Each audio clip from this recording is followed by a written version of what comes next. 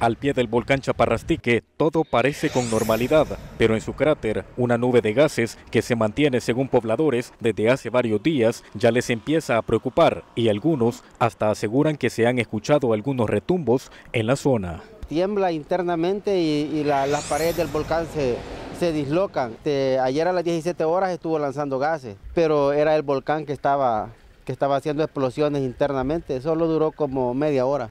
Alexander Santos, por su parte, no prefiere alarmarse por esa situación y dice que espera terminar sus trabajos de instalación de tuberías sin ninguna emergencia que lamentar.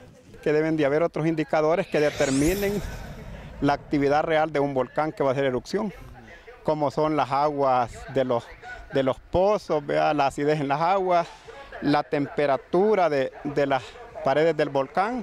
Desde el pasado lunes, el Ministerio de Medio Ambiente y Recursos Naturales ha publicado en su cuenta de Twitter que los RSAN han aumentado hasta 51 unidades, agregado a la desgasificación que ha estado presentando el volcán. La Comisión Municipal de Protección Civil también ha informado que siguen de cerca el comportamiento del coloso y que ya tienen un plan de emergencia por si el chaparrastique entra en erupción. Este es un informe especial de TRB en San Miguel. Eduardo Márquez, Telenoticias 21.